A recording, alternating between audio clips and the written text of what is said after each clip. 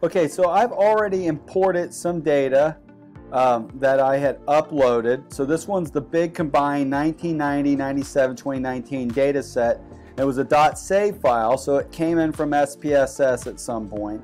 And when it was in SPSS, when it first came in from Excel to that, it, it changed some of the variables um, so that the numbers showed up uh, at the beginning of the variable name with an at symbol. So Excel allows numbers to be at the beginning of variables, but a lot of other stat programs don't like that. So I imported it, and when I want to look at it, I can click on Output Data, and uh, I can even you know turn this split thing off. Let's see. Oh, it's being slow. I'll just drag that up. And then you can see all the different variables that are in here. Now, I'm going to squeeze this out of the way here so you can see all that kind of data, that spreadsheet that you might be interested in. And it stops at household income. Now, you may realize that, man, this doesn't seem like all the columns. Well, it's not. So over here on columns, I can turn on or off certain columns for viewing. So if I'm interested in viewing something else, like um, the percent roll. Can turn that one on. It's going to throw it towards the end.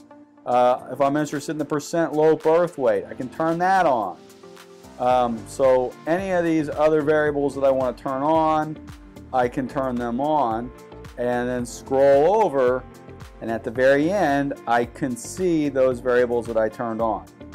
So that is helpful. Um, next, this is a great improvement compared to like RStudio. So SAS Studio allows us to um, view rows 1 to 100. We can view even at the very end by clicking on that, the last rows of data. Here they are. All right. We can go forward or backwards 100. So some of that, you know, you may have been able to experience with RStudio. But the problem with RStudio currently is on a particular variable like household income where you want to sort it. If I just sort it here, you think, oh, it's just going to sort among these 100. No. What's great is when I sort it here, it sorts it for the whole data set. So like you might be used to with like Microsoft Excel or another uh, you know stat program. So when I sort it, we can see the household income from, in this case, lowest to highest where the first county's got a missing data. There's no there. So the second county is the lowest income county, you know, which is uh, a First Nation county or a Native American reservation county. And then we've got a Black Belt county. And then we've also got, you know, in Appalachian County, it's just down the road from us here at EKU. You can see a few more of our counties right here in our backyard. And you see McDowell County, which is in southwestern West Virginia um, that borders Kentucky. So you can, you know, scroll uh, through the data, look at it. I can invert this and we can go from the top down and we can see the uh, wealthiest counties in the United States.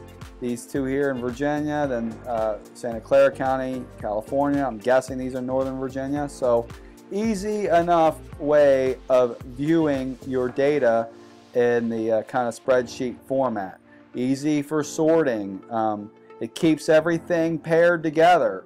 Unlike Excel, where if there's a column and you don't expand all, things can get all cattywampus, and we don't like that. So this is a nice way of being able to look at your data.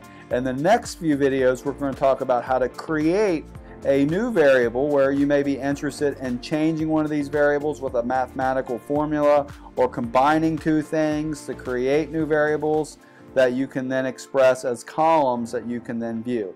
So hopefully this has been helpful, helpful and I appreciate your time.